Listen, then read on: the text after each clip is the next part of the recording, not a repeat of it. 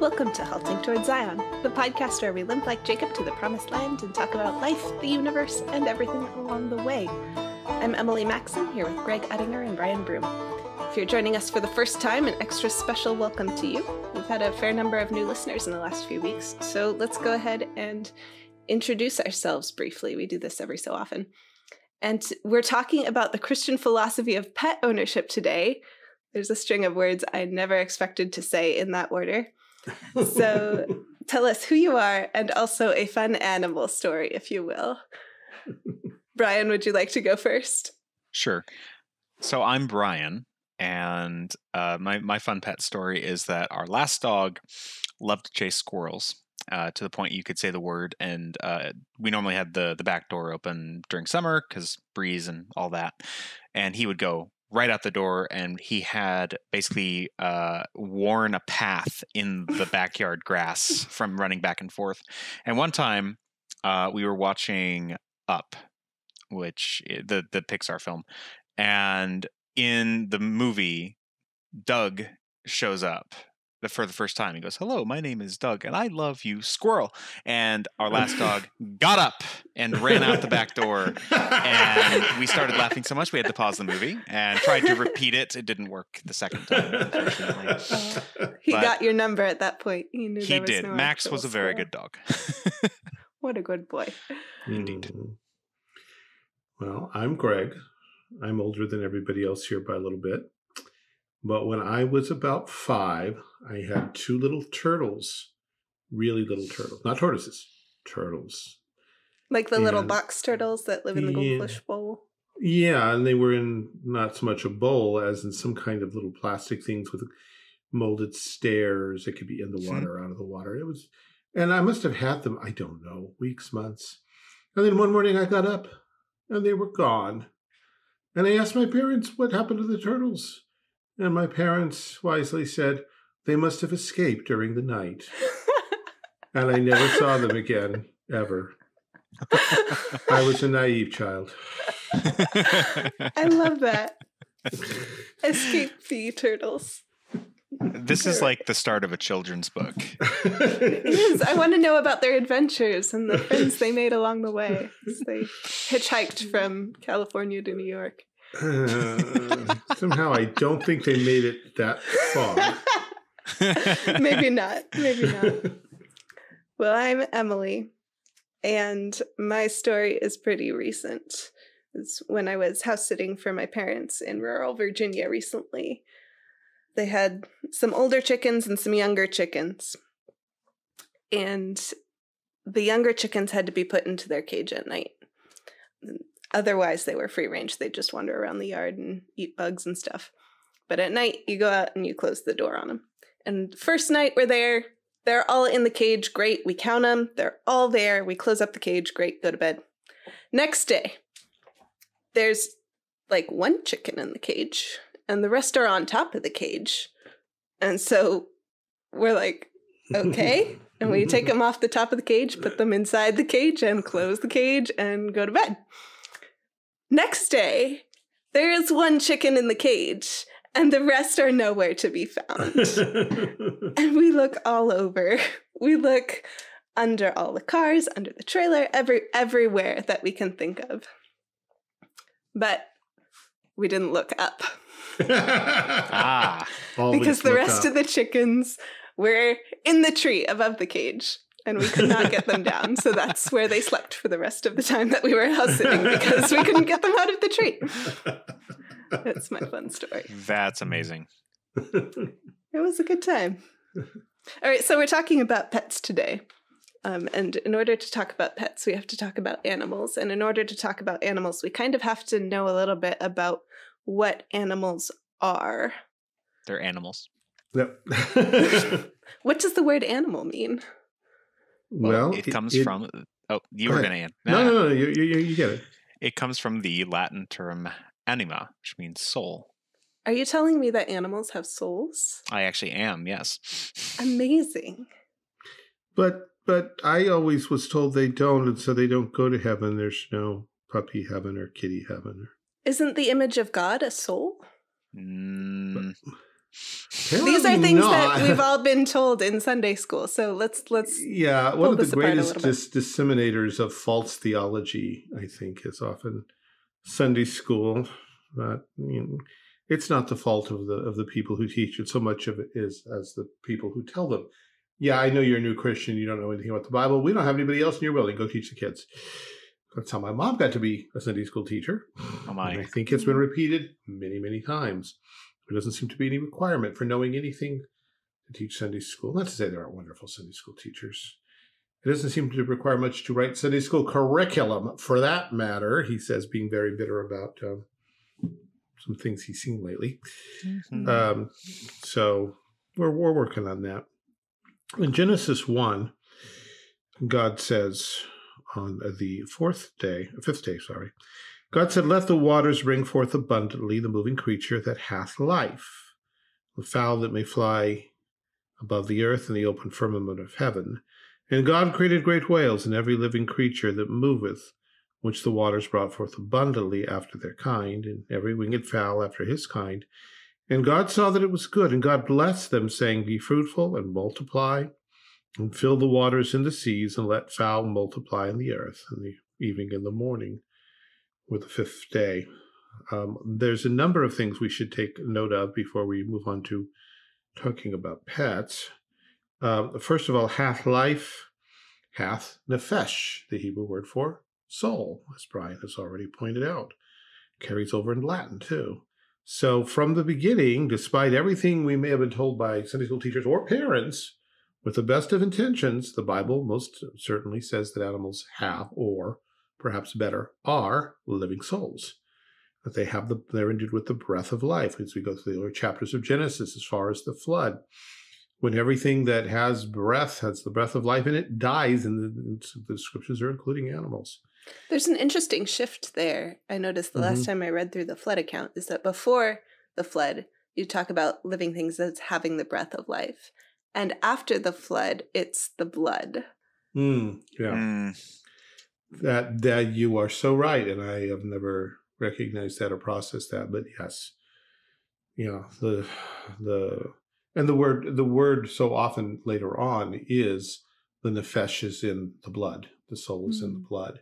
Even as late as Revelation, when we see the souls of them that have been slain for the word of God are under the altar crying out for vengeance it's still the souls, it's the psyche, the hmm. it's the it's it's I mean the image is the blood, but we're told it's the souls of of the martyrs. So there's that interplay goes on, and hmm. I I don't I've never studied it. I don't know much about it. I just I just point out it's there, and maybe somebody can come up with something for us there. But back to animals, the other thing um, that I would point out is the in chapter twenty, or verse twenty one. God created. And the word created only appears three times in Genesis 1. It appears, and, the Hebrew word behind it, bara. It appears when God made heaven and earth, that is when the first, for the first time, he made time, space, and matter. And it appears here when God creates life, sentience, self movingness. And then it appears one more time when God creates man in his own image. So these are three mm.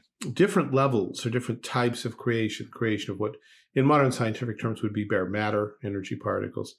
But then animal life is something else. It's not there, there's no in between plant life thing. Plants do not have nefesh, they do not have the breath of life. They are complex chemical arrangements that mimic sentient life. And sometimes God will use use them as metaphors for life, but they're they're not alive in the biblical sense. And then we come to man, who is the very image of God, and in that sense is qualitatively different from animals. And I assume that's, well, I, I, guess we have to focus on both of those. Animals are more than plant life, they're more than complex chemicals. But man, as the image of God, is more than simply an animal, too. And so when we start measuring out the value of our pets, uh, God obviously values them more than he does plants or rocks, but man is in a different category. So those are some things we need to take into account. And God, before he ever speaks to man, speaks to the animals be fruitful and multiply and fill the waters in the seas and let fowl multiply in the earth. Now, at this point, we've only got um, birds and fish, fish and fowl, uh, and, and anything else that flies like bats. Um, And I don't know if this would include birds that don't fly. Probably not, because God draws what the about the penguins? yeah, penguins. Where did the penguins go? Tell me. Uh, God, God draws the lines a little differently than we do. He, he draws it in terms of, of series of activity rather than um, DNA, as we would think. Uh, but he he talks to these creatures out loud in a voice. That's significant because we tend to talk to our animals. Hmm. And when we do, we're imaging God. But the other thing here is that he tells them to to be fruitful and multiply. The same thing he will say to to man. Uh, it is God has put within, and it's a blessing that they should do so. Now, we have a problem with that. We generally, in the late uh, late twentieth century, okay, I'm I'm twenty years out of date. The beginning of the twenty first century, we generally are opposed to animals breeding and being fruitful and and spreading around. And and you could Bob probably Barker. make some yeah, you can probably make some good arguments under certain cases. But that's in, in general, God thinks that that animal life is a good thing and, and that there should be much of it. And to take a uh, zero population growth view toward animals is is not compatible with what God actually told them to do, and, and that telling is itself a blessing. God blessed them when he said this. And that brings us to chapter 20, or verse 25. I keep wanting to say chapter. God said, Let the earth bring forth a living creature after his kind, cattle and creeping things and beasts of the earth after his kind. And it was so, and God made the beast of the earth after his kind, the cattle after their kind, and everything that creepeth upon the earth after his kind. And God saw that it was good. And God said, Let us make man in our image after our likeness, and let them have dominion over the fish of the sea, and over the fowl of the air, and over the cattle, and over all the earth, and over every creeping thing that creepeth upon the earth. And he goes on and does that a couple verses later. So here we have the rest of God's creatures, and, and here again, God categorizes on his own terms. We have cattle, which would be domesticated creatures probably not living in your house, like cows and sheep and goats and things like that. Creeping things, the things we go, ew, yuck, now, but once we didn't. And the beasts, which are not domesticated, but at this point were not hostile to man. They would they could come up and give you a lick and without you being afraid they were sampling you for supper. Uh, because all of this was placed under man's dominion, man's stewardship. We don't like the word dominion. Mhm. But what it means in a Christian context is stewardship. God has placed these these creatures under your charge so that you can one care for them and protect them and nurture them, and two make them better than they were. Whether that involves some degree of selective breeding, whether it involves training and teaching them tricks, whether it means using them to carry or to ride upon. Personally, I would like to ride on a pterodactyl, you know. Um, but uh, these these are things that that God put into our charge, and, and and in our day when so many people in the green movement don't they they don't want us to use animals, they don't want us to eat animals, they don't want us to take clothing off of animals. I, I I'm surprised they even let us have them as pets anymore because isn't that condescending? Shouldn't the animals be free? Maybe I've missed something, uh, but uh, this this is there's how God there's probably it. some crazy person on on the fringe there. Yeah, it just seems like it shouldn't be fringe. Is, is all I'm thinking about. I think I think I probably have run into that. I just can't. It's the Remember it logical or- conclusion. We Yeah. Yeah. Follow the line. Well, you know, I, I there have I know there have been movies and such where the the Tarzan-like character breaks in and, and releases all the horses so they can be free and things like that. Oh my. I don't know if anyone's taking taken it in, a, in the larger sense of letting all all of our pets go free, releasing all the birds from their cages and throwing the fish into the toilet so they can swim. I, mm. we have some wacky um, people in the green movement, and, and sometimes some very vicious and deadly ones too. So this this is what God set before man, and there's perfect harmony there. But there's not equality. The animals were not human; they were not the image of God, but they were living sentient beings who have, after a fashion, emotions and thought processes and volition. Uh, and and we begin to we can begin to think about that. And this this is where zoology comes in. I, I remember when I was much younger, we were told, well, one thing that sets man apart from the animals is that man uses tools. No animal ever uses a tool. Uh, Yeah, they do. we, we found that even there raven, are ravens Yeah, use yeah. tools to a certain extent. It's like yeah, yeah. There, there's there's quite a few that learn how to use this to get that, uh, and learn to do so repeatedly if need be. Uh, certainly, they do build structures and houses for themselves. True, the same way their ancestors six thousand years ago did, and they don't seem to innovate. Uh, Chesterton in The Everlasting Man makes the point that uh, what, whatever you can say about man, he's always the artist because whatever the horse or the hound does, they do it the same way forever. They don't pass through their blue period into their cubist period, into their surrealistic period. Not even they're as they better for it. evolve. Yeah. Not even as they evolve do they do this. You know, it's just that's always the same.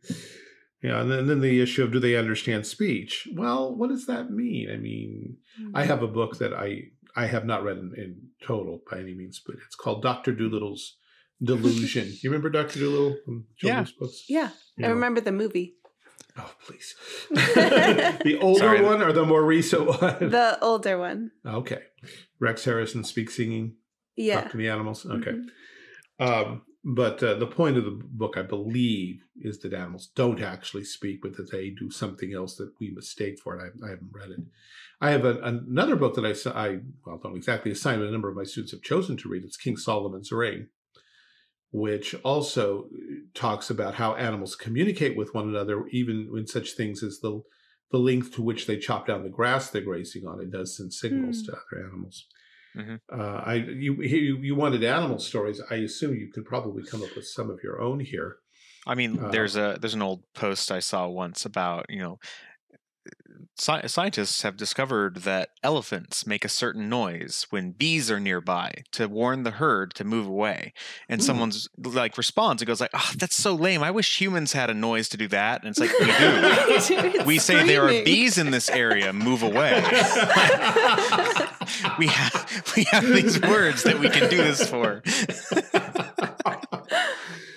oh, uh, I had a little dachshund who picked up on the word "go" as in go for a walk. Mhm. and um, we had we had we learned we had to be very careful. If we want to say scamp you want to go? You want to go but then there were times when i remember my mom just saying hey honey we go up and and see harvey? And the word go was in the sentence there which is part of the flow and immediately my dog said really? Really? You pick up the one word out of all that. Well that's okay that's great um, our, our older cats uh, will respond to the words night night, at least when I utter them, not apparently when everybody else does all the time. And uh, my oldest daughter, Emily, has, as you saw before we started, has a little kitten, and she and her youngest sister are working on trying to teach the cat some words. Not sure how that's going yet. So it, it is true that animals can understand sounds and can connect them with particular processes, events, places. And of course, there's the was it an orangutan that could do signing Mm. Yeah. to some considerable Gorilla? I think Oh, gorilla, gorilla. Koko. Was it a gorilla? Yeah. Hmm. So we, we acknowledge that freely as Christians. We're not surprised at it.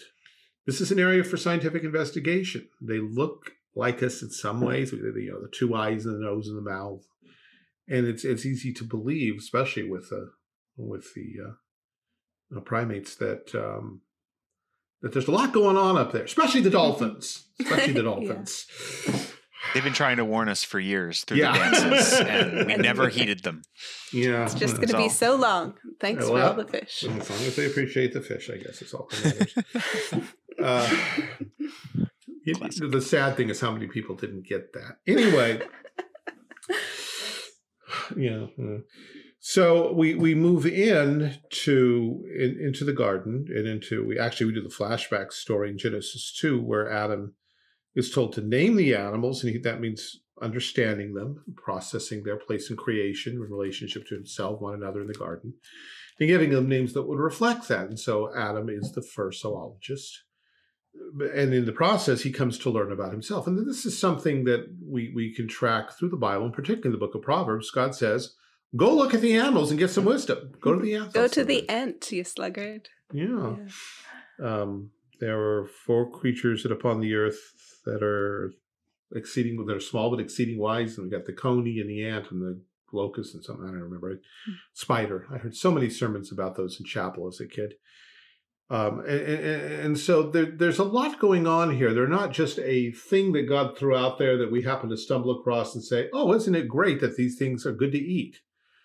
Um, God had more intention for us and them than that. They are things to learn from. They are things to take care of. They're things to train and develop. They they are their comrades and and and uh, friends. What was Lewis's line? Jesters, playfellows, and servants. I think in in one of hmm. his one of the space trilogy books. I think. Uh, and and and it is in this context that the serpent was more subtle than any beast of the field which the Lord God had made. Hmm. And in that story, we have things history. It really happened. We have a beast assuming a role a beast should not be assuming, and and of course the question that every every kid who's hearing the story for the first time, at least taking it seriously for the first time, is going to raise his hand and say, "Wait, wait, wait! Why is she talking to a snake? Did snakes talk?" To which I have to say, I don't think so, but I really don't. Well, this one did, obviously. right. Um, well, why? Why was she? Why'd she go on talking to the beast? Wouldn't you? Yeah. She's, she's it would be rude to just yeah. walk away. yeah, it's a, it's an unfallen, harmless, wonderful world full of all kinds of things. She she, I mean, everything was an adventure, excitement, miraculous after a fashion. So here's one more thing: it's an animal that talks. Wow, that's that that seems pretty good. The problem was not in talking to the serpent. The problem is when the serpent took the line of conversation or a particular line, and she she and her husband didn't do something about this. Mm-hmm. But before we're done, uh, well, the beast approaches the woman, the woman her husband, and the husband passes judgment on God. When God comes, he reverses the order, talks first to the man, then the woman, and then finally curses the serpent who who bears the burden in part of this sin. And we see the whole creation put under under the curse to share it with man because the whole creation is covenanted with man, first in Adam and then later in Christ. And so again, the animals are not just stage scenery that happen to wander in and out occasionally. They they have a crucial role in this drama of redemption. We took them down with us. What have we done to our fair sister? I think it was the Beatles saying. Well, we, we hurt creation really badly. It's amazing that the animals are so forgiving. They don't say, there they are, get them! Well, a lot of them do, especially in Australia. Oh, Australia, yes, Australia, is where all of that negativity towards humans was cordoned off for our own good. Yeah. Oh wow, I see a sci-fi fantasy story in that so much. yeah. Oh wow, why don't we go there? Um, but then at the end of that chapter, after God makes the promise of redemption, we see animals yet again when God takes two animals. We're just told God made coats of skins. We're not told whether these were cattle or beasts, presumably cattle, because sheep, goats, because that are bulls, because that's what God's going to use through the rest of Scripture. And in the next chapter, that's what Abel's going to use, the firstlings of hmm. the flock and the fat thereof. So in, in, in this, we see God killing animals. And he doesn't just tell us to do it. He himself is the first person to kill an animal. Um, and he, he kills the animal for two reasons. One, the religious sacrifice. And two, clothing. And presumably from there on, Adam and Eve and their descendants understand that those two reasons are valid reasons uh, for killing animals. You can also think there's, there's probably an implied third one having to do with the serpent, and he's going to get his head crushed. so when the when the animals start getting vicious or sneaky and trying to undermine your culture and civilization and bring about uh, immanentize the eschaton, um, you you you are you are allowed to smash them. Yeah, clear and present them. danger. Yes, you can you can kill them to, for self protection. Those there's still one more that, that comes later with Noah, but those those are basic things. Mm-hmm. And so it's from a biblical point of view, thou shalt not kill does not mean you can't kill animal life. Having said that, Proverbs tells us that the, the righteous man regards the life of his beast. Mm-hmm. And the word for life there again is the word for soul. Whatever that that that spiritual, non-material thing that's going into the animal that makes it different from everything else, a godly, righteous man will regard that, will take it seriously, and will treat the animal with kindness. That doesn't mean that we're not going to kindly kill them and eat them, but we're not going to be brutal to them along the way. And there are implications there that this is a good place where farmers Mhm. can work this out. And there was a time when I think generally they did. Um, but that that in itself opens up such a can of worm, a can of worms where I'm not an expert. Yeah. So now we have oh well let's throw in the the the last one uh, which I just did eating you can eat them Mhm. the, uh, the original diet, the only restriction was no blood, no vampirism. Israel was put on a pig free diet for a while, uh, and the dietary laws were very specific as to what they could and could not eat. But with the coming of the gospel, since animals represent men, as the lamb on the altar represented men, Mhm. so we are free to open it up and incorporate all kinds of animal slash men into the kingdom of God by devouring them into God's into God's uh, church, into God's kingdom. So there's our there's our theological background, at least for part of it. And Emily, I think there was something you wanted, a place you wanted to go, or something you wanted to talk about. Uh, yeah. I think I I generally see two different extremes when it comes to pets specifically. These days I see fur babies on the one hand where people my age, young professionals don't want children because kids are expensive and demand a lot of attention and care. But there's still this nurturing impulse.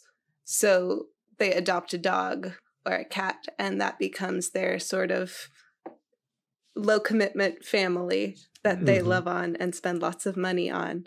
And then I see, on the other hand, as a reaction to that, this idea that no, dogs are for kids so that kids can learn responsibility, and that's all they're good for. Otherwise, no animals in the house. Um, and I think both of those, I mean, I hate to set up, you know, the false dichotomy and say, well, the truth is somewhere in the middle, but I think the truth is not in either of these options for a start. Agreed. Uh, yeah. No, I- I- Because uh, espe- especially in like um I would say Reformed Christian circles, you you do have two extremes, and and one of them is to say animals literally don't matter because they're not humans, And therefore there's you don't have to care about them. You can kill dogs if you wanted to because it doesn't matter. They're just they're just an animal, and uh, it's really just cultural differences that lead to us enshrining dogs as something you don't kill. And then the other being what Emily has already mentioned about you know these are these are a, the member a member of my family and I shall love them as though they were a child of mine. And both sides tend to take like these really straw man arguments of the other side where it's like the the side that don't that think animals uh, aren't important at all basically say, "Ugh, you don't want children and you hate fertility and da da da da da da da and you just want to do all this stuff to the dogs instead of the children and you're horrible and God hates you. Um, don't you know that heaven's going to be great enough without animals? Like that's one argument I've legitimately heard. wow. And then the other side is like, but my dog Susie from age three he she has to be in heaven to meet me um and you're a horrible mean person uh, who is basically the the hitler of dogs um, so it's like there there is a answer to this issue mm. that is none of these extreme options yeah. I, I want to say that that's just because the people who hold these extreme views are louder than the people who don't. so I want to say that they're a loud minority. I really hope that. I, I hope so. I haven't heard that much of either, but then I don't hang around in either of those circles a whole lot. I suppose growing up as a kid uh, in Northern California, everybody was a hunter, Mm. but there was an understanding that you killed the animal and you you took its meat, you got it cut up, and put it, you salted it, or you put it in, in the I can't think of the word, but freezer is what it comes down to. Yeah. Um, you didn't waste. it. You didn't just go out and Mhm. shoot everything you could and leave it there and go off laughing.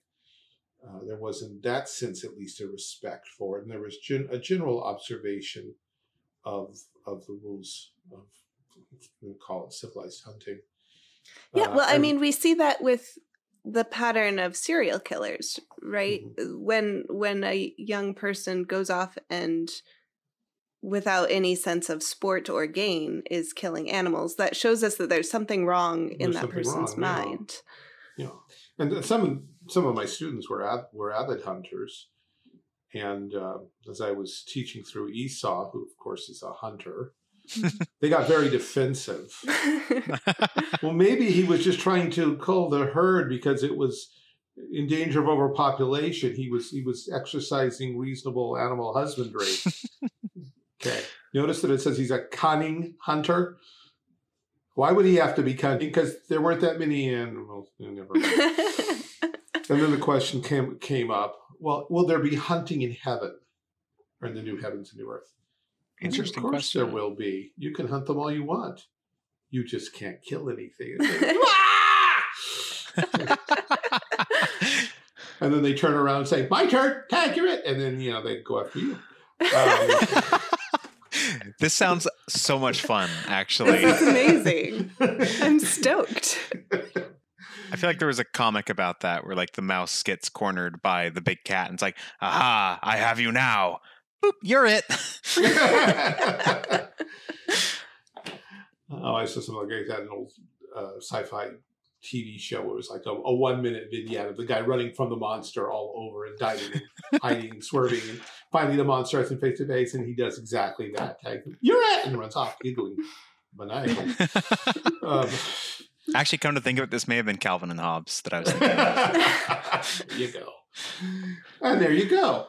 Calvin and Hobbes. So we have, even in our uh, entertainments, we like to muse upon animals that are semi sentient or semi intelligent, I guess, because they are sentient.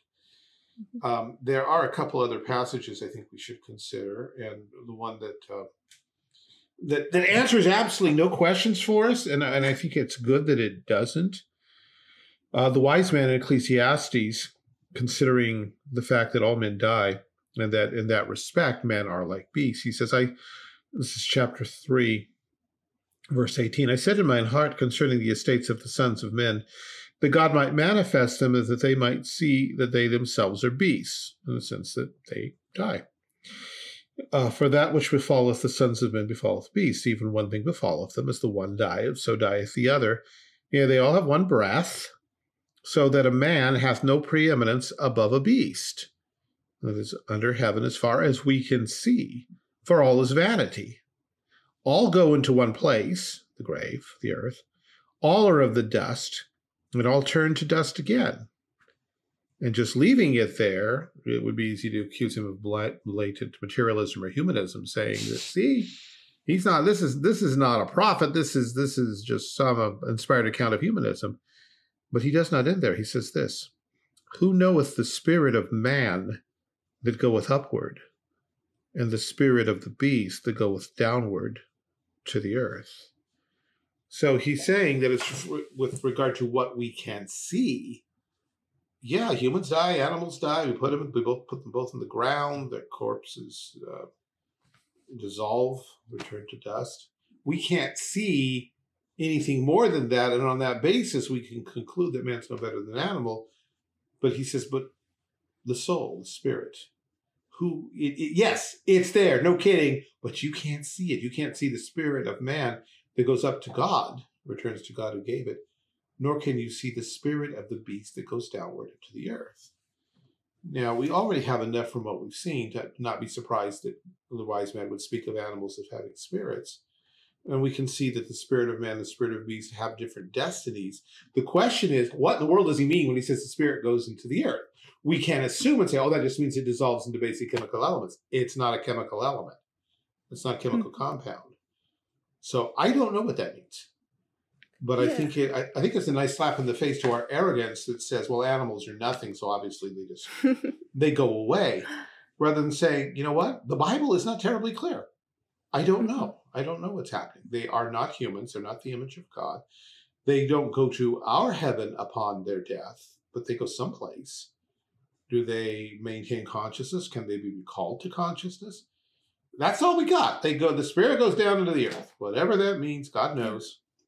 Um, maybe And different- different translations frame it differently. Um, I'm not a Hebrew scholar, so I don't know the merits of Mm. King James versus ESV on this point. Mhm. But I think the ESV says, "Who knows whether the spirit of man goes up and the spirit of the beast goes down," and Mm. that's like a whole Yeah. extra level of uncertainty about this whole question. Yeah, yeah, that's yeah. That leaves that leaves some things open. And I'm not a Hebrew scholar either, but it's not. I don't. I'm not surprised that the wise man might might have been a little vague here because it's kind of the point. There's so mm-hmm. much we don't know, and when our our little you know three year old girl comes to us and says, "My if my cat died, will I ever see him again?" No, he's dead. There's no cat. Heaven, don't give it up. Don't even think about it. I, it's bad enough that that some people do it, but they do it in the name of God. No, the Bible says that you're. No, the Bible says no such thing. The It is incredibly is still vague on the Yeah. point. Yeah. So but then again, there's a lot of people who speak very firmly on things the Bible's vague. about. you know, they, you know, they become the voice of the Bible. That's Um, one thing I appreciate about C.S. Lewis. He has a section about animal pain in the problem of pain. Mm. And almost the first thing he says is, This is all speculation. Just thank you for acknowledging that. That's a very good starting point. Bless. he was he was an enemy of uh, vivisection of uh, cutting up animals just to see what might be there, Really? and he makes that a, a, a minor theme in that hideous strength. Ah, that explains the, those sections. Okay. Yeah, yeah, and why the animals get to revolt in the end. you can just Um, imagine Lewis kind of snickering to himself as he's writing that. Like, He suggests, if I remember correctly, that the heaven for mosquitoes could be in the same place as the hell for people. That would be very convenient. yeah, I, I, I think Dante actually may have done something like that. that makes a lot of sense. There is one other animal, uh, specific particular animal that I think we should at least uh, give a nod to. Uh, Balaam has been hired to go curse God's people, and uh, God first says no, and then says, "All right, when they call you, you may go for my purposes." And they he doesn't wait; he just jumps on the donkey and starts going for his own purposes. God's anger was kindled because he went, and the angel of the Lord stood in the way for an adversary against him. Now, what's really important, uh, I, I think, for the harsher version of Christians is to remember, well, yeah, both for both sides. I think that the angel of the Lord, the angel of the covenant, is Jesus. So we, we, we we're seeing Jesus interacting with both the prophet and the animal, the donkey, the ass, if you will. Um, it's amazing how many older Sunday school teachers will not use that word with their children. Uh, and um, the angel of the Lord stood in the way for an adversary against him. Now he was riding upon his ass, and his two servants were with him. And the ass saw the angel of the Lord standing in the way, and his sword drawn in his hand. And the ass turned out aside out of the way, and went into the field. Balaam smote the ass to turn her into the way. But the angel of the Lord stood in the path of the vineyards, the wall being on this side and the wall on that side. And when the ass saw the angel of the Lord, she thrust herself into the wall and crushed Balaam's foot against the wall, and he smote her again. And the angel of the Lord went further and stood in a narrow place where there was no way to turn either to the right hand or to the left. And when the ass saw the angel of the Lord, he fell, she fell down under Balaam, and Balaam's anger was kindled, and he smote the ass with his staff. So the first thing, now you could say, well, this is miracle, this was special occasion, this never happens. It doesn't say that. It just says the donkey had more spiritual insight than the prophet, which I don't find surprising at all. oh my. Uh, she could she could see the angel. Well, think and about knew- all the times we're told creation is praising the Lord. Yeah, Mhm. exactly. Uh, or groaning together in pain, waiting for our redemption. or Anyway, how she, often a cat just stares blankly into an empty space in the house. that's what I was going to actually. Yeah. I didn't mean to take that from you. I apologize. yeah, no, that's that's great because that I thought that maybe was just me and actually David Farsher. I think was the first one. Yeah, when cats suddenly startle up and go over someplace and then they're looking at something. Yeah, it's angels. That would explain a lot if they can see into a dimension we can't. Um, and and she responds intelligently. She this is her master. He's not a great master, but she understands the relationship here, and she understands that this angel person's about to kill. She knows what the sword is and how he's going to use it, and she decides that she has the liberty to try to save him. She does not feel compelled by the mere presence of Christ not to save her master. And and so she in the end she just drops down and and Balaam's smacking her donkey. And the Lord opened the mouth of the ass, and she said unto Balaam, What have I done unto thee, that thou hast smitten me these three times? You know, it is a great marvel that the ass spoke, but what I think is a greater marvel is that Balaam answered her. Balaam said to the ass, "Because well, again, hast... it would be rude to not answer." It's just a, it's a immediate human response. It's like someone's yeah. talking to me. Well, uh, because because thou hast mocked me, I would there were a sword in my hand. For now would I kill thee. And the ass said unto Balaam, Am not I thine ass? Upon which thou hast written ever since I was thine unto this day. Was I ever wont to do so unto this day, or do so unto thee? And, and God, who knows the beginning from the ending, and ordained that Anglo Saxon should arise out of Latin influences, records that the prophet said, Nay. the Lord opened the eyes of Balaam See, he couldn't see what the what the donkey could already see. And he saw the angel of the Lord standing the way, his sword drawn in his hand, and he bowed upon, down upon his head and fell flat on his face. And the angel of the Lord said to him, Wherefore hast thou smitten thine ass these three times? Behold, I went out to withstand thee, because thy way is perverse before thee. And the ass, the, the ass saw me and, and turned from me these three times. Unless she had turned from me, surely now also I had slain thee, and saved her alive you got a cool donkey there. I would have I would have left her live, but I was about ready to kill you. um, interesting perspective. There was there was this thing back. You know, when, what would Jesus do? Which degenerated into how would Jesus vote? What would Jesus drive? And what would Jesus shoot? And, and then there, well, it wasn't so much the target as it was what kind of handgun would he use. Uh, well, he prefers sliding swords, it seems. but he, I mean, this this is this is Jesus. He's got a sword. It's drawn, and he says in no uncertain terms, "I was ready to slice and dice you, but you got a cool donkey. I'm just going to leave her alone." Uh, the only other times we see Jesus interacting with animals that I can remember, we're told in Mark's gospel after the temptation, when the angels came and ministered to him that he was in the desert with the wild animals, mm. whatever that means.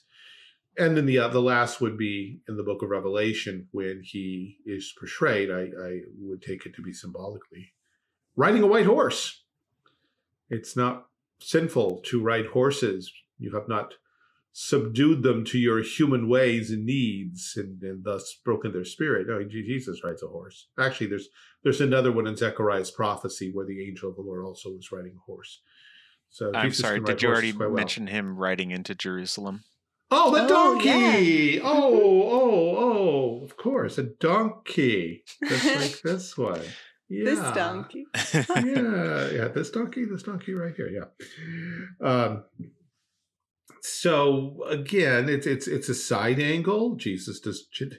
Paul says, "Does God take thought for oxen?" It says, "No, he, he's writing the commandment for us." And yet, and yet, I, Jonah, Jonah, like God is concerned with the city full of people and all of their cattle, and all of their cattle, also much cattle.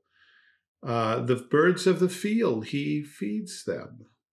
Uh, and all of Psalm 104 is a beautiful hymn to how God orchestrates what we call nature, his, his creation, all of its all of its parts, and how He feeds the animals and He waters them and such. Mm-hmm. So these are. we can also parts. think of, uh, you know, not a sparrow falls out of the sky, no. except mm-hmm. your Father sees them. How much more you? Yeah, and, and there's and I'm glad you included that that second part because yes, God does care for the animals, but how much more important are you? And in um, if you can think of anything else, throw it in because I'm going to Isaiah 11. Well, there's the Leviathan. Well, there's the that Leviathan God formed to play with. Yeah. um, Fetch. And yeah, and re- and remember that originally God made the great whales, and the word there is sea monsters. So God made these things, and they the fact that they became evil and dangerous, evil in the sense that they, they do damage, not that they're sinful. Although my, my girls keep going back and forth. Are you sure cats can't sin? Um, we wonder about that one sometimes. The answer is Uh, yes, they can. and Yeah. do. but uh yeah they're the, the fall changed them but they were always the chief of the ways of god they were always these great incredible things that we should stand in awe of. And job uh, sees leviathan behemoth on those terms.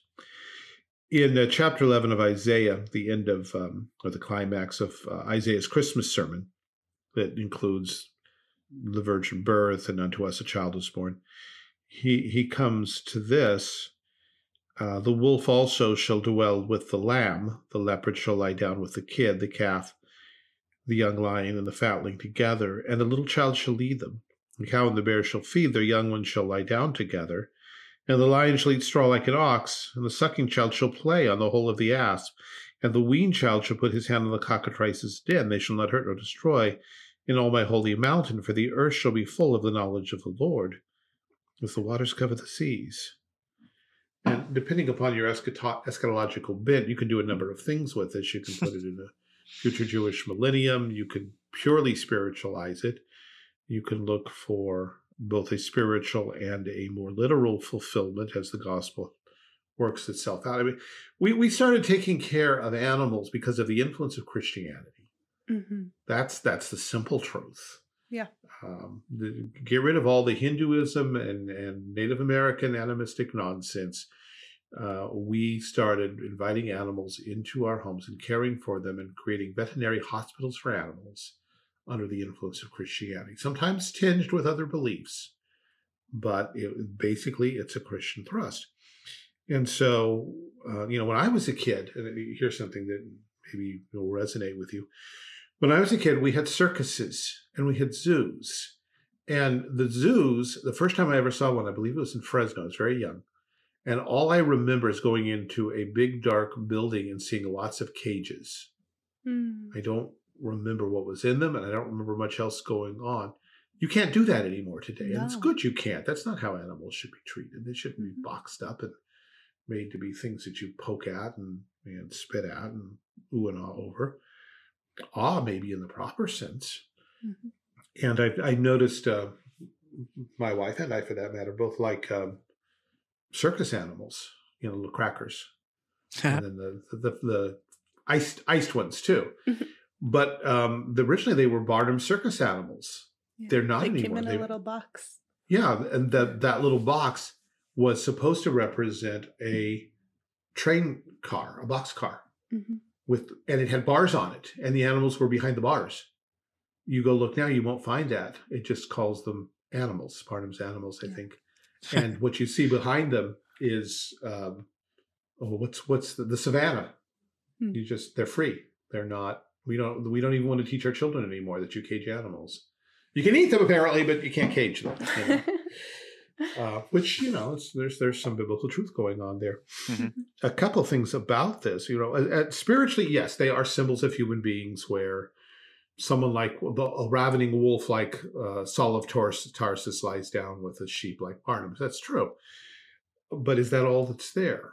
Do we we we know the creation fell with us?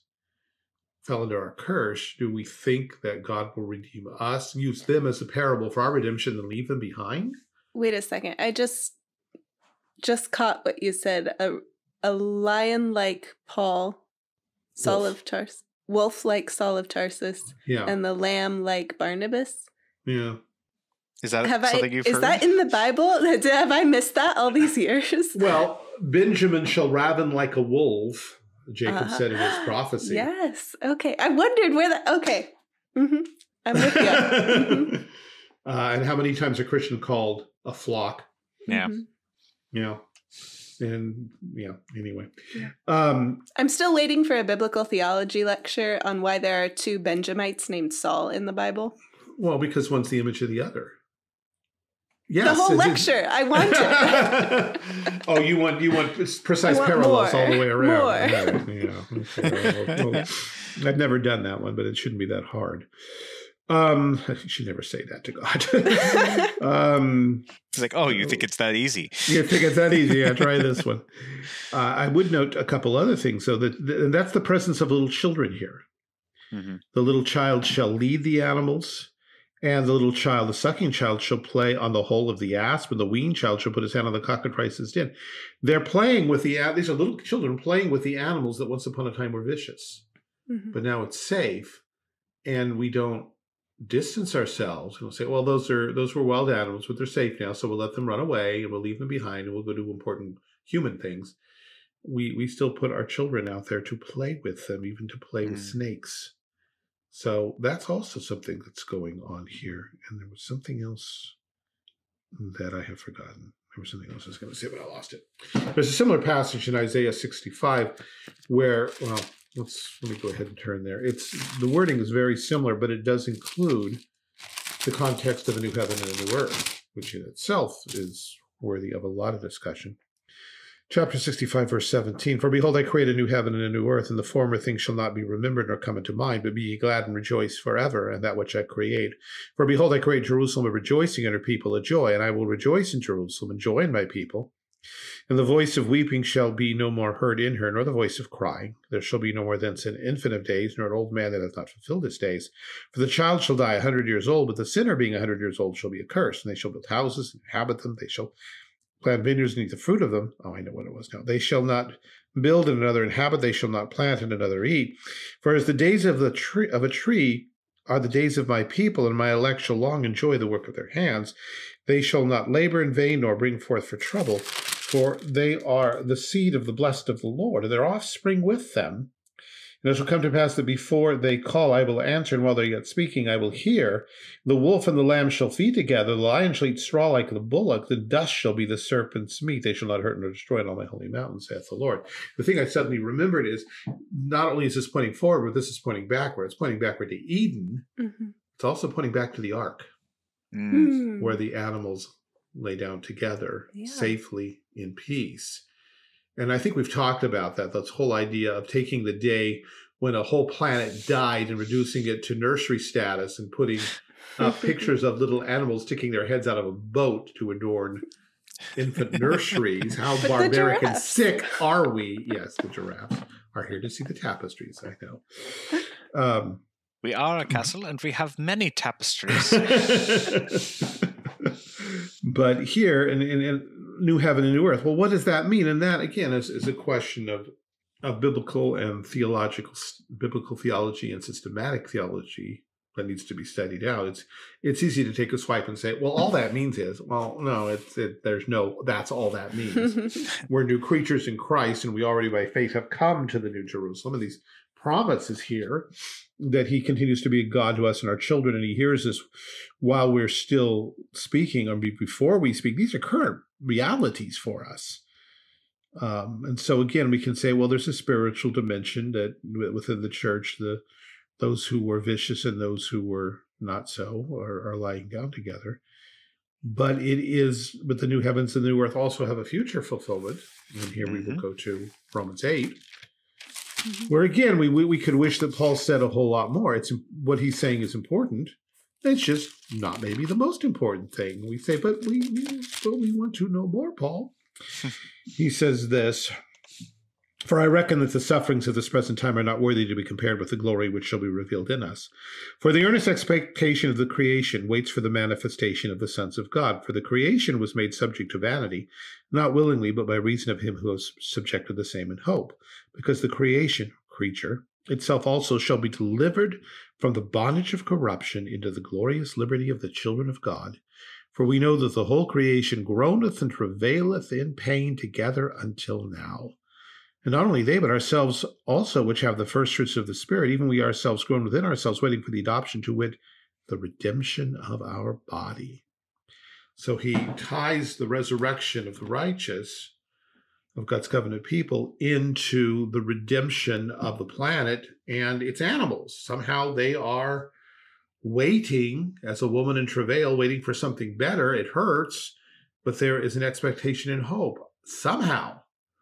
And it's it it comes together in the resurrection. So apparently those those passages in Isaiah are not simply metaphor. There is something more going on here.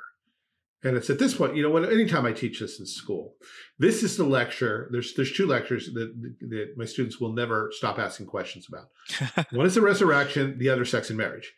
You know, they just they keep going, they keep going. I think because no one ever talks to them about these things. Mm-hmm. Uh, and so, well, does that mean that there there will be animals in the new creation? Then, well, how about my puppy? Is he going to come back to? I don't know. uh, I, I appreciate Lewis's line. God never takes away something without giving us something better in its place. But I don't know how that applies or what that means. Mm-hmm. But obviously, um, what we lost, we get back and more besides, which is also the theme of Romans 5, uh, comparing and contrasting Christ and Adam. Mm-hmm. So the animal creation and thus pets are something that God's going to redeem. Uh, the animals and our relationship with them. Mm-hmm. And so, if understanding that, I think begins to balance some of your concerns. Uh, understanding that children are not animals probably should be in there someplace too, although it's kind of a different story, which is kind of the point. Uh, fur babies, no, they're not. we, they, they, they're a good, what, what is the word you use for something that temporarily takes the place of something else while you're getting over it? There's a word for that. I don't know. Substitute, not a substitution. That's more permanent. Yeah. Um, uh, can't. Interim placeholder. Yeah, placeholder. placeholder. There you go. um, whatever, whatever it should be. You know, we, we we hug the cat because we've lost someone, and I understand that. But but sane people don't go on holding cats and giving up children, mm-hmm. uh, as long as children are a possibility, because they're not the same. But There's, that doesn't mean that cat are, cats and dogs are trash either. Right. There's actually a really great comedic routine that that kind of covers the issue with uh, replacing children with animals, and mm-hmm. it's basically um, first of all the comedian the comedian's name is Iliza Schlesinger, and she's hilarious. A little bit crass, but it's hard to escape these days. And um, she's talking about like, let's say that you go on a date with a guy and when you get back to your house, like the next morning, you, you know, maybe you don't know what's happening with this guy, but you realize, like, oh, I need to nurture something. And your eyes turn like Terminator vision, locked on the dog. and the dog is confused because it knows something bad is about to happen. and you go, Who's the baby? and uh, grab the dog and like you've get, gotten your serotonin fix and the dog mm-hmm. is like traumatized but it has a short-term memory so it like doesn't remember it 10 seconds later. And then yeah. 15 minutes pass and you need the serotonin hit again. And so you turn back to the dog and the dog's like what what's going on? And you go who's the baby? And he goes oh no it's me. But she makes a really good point that like there's that nurturing impulse yeah. that mm-hmm we really just kind of flip the bird at. We we don't care about it and we're like, ah, but there's still that impulse underneath everything that we're doing. And then we just kind of turn it towards what we do have, and it's a dog, and mm-hmm. you frighten the dog. Uh, and it's not necessarily a very healthy thing to do. The tender mercies of the wicked are cruel. Ooh, nice. That goes with the righteous man regards the life of his beast. Mm-hmm. Well, yeah. Emily, I think that's a good place to stop. Yeah, that's good because we're out of time. I, I, I oh, convenient. Yeah. Uh, do we have any recommendations to close no. out? yes. No. Right. Oh, well, Brian, has, Brian has one. All right. Well, you two have recommendations. Go okay. first, Emily. I, I've always gone first. uh, my recommendation is a book called Lessons from a Sheepdog. This is by Phillip Keller who mm. is the shepherd who looked at Psalm 23, that guy. Yeah.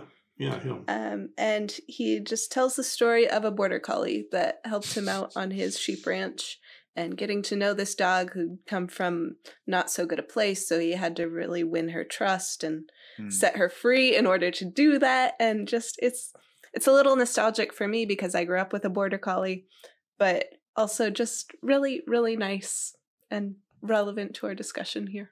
Nice. So, Lessons from a Sheepdog, Phillip Keller. mine is less relevant to what we're talking about, uh, except in the title. Um, I finished this book last week. It is called Dominion by Tom Holland, Mm. and uh, Tom Holland is a his- a British historian who has written quite extensively on uh, the ancient world. His first book I read was about the fall of the Roman Republic into a dictatorship. It's phenomenal. That one is called Rubicon. I recommended it before, as a matter of fact. This book is a overview survey of Western culture as a whole and the influence that Christianity has had upon it in the past 2,000 years. And it is simply incredible. As an idea, he gave an interview about this book once where he basically said, um, You know, I'm an agnostic, but I loved looking at ancient cultures and civilizations and i just i threw myself into studying them. I wrote several books about them. I just loved them so much but i never saw in rome or greece or babylon or persia anything that western culture values the individuality of the human being the importance of life the duties of of public charity. These are all things that christianity gave to the west Mm, and it's Yes. not present in, in the pagan world and so he just he kind of runs with that theme uh, in a general broad sense even even pointing to things like the modern he has a whole i think the last chapter is called woke um, where he talks about how this drive towards social improvement is something that the pagans never had yeah, it's yeah. something that is is very Christian, even if they reject the very underpinning belief system of it. it. It's something that they've inherited from that worldview, and it's so good, you guys. I recommend it Well, a hundred percent. What, what's the title again? Uh, Dominion, Dominion. by Tom Holland. Okay, I, I, I think I will secure that. Actually, I did come up with a recommendation. Oh, good. Awesome. This is. do you remember Little Golden Books? Yeah. No, The little they're board on the books. front. Yeah. They're little Yeah. what on the cardboard front? front? Cardboard, like a board book, but they have real pages. Oh, interesting. Mhm. Yeah. And the little gold um, spine, and you can pick them up at used bookstores, and most of them are trash. But once upon a time, some of them were actually pretty good.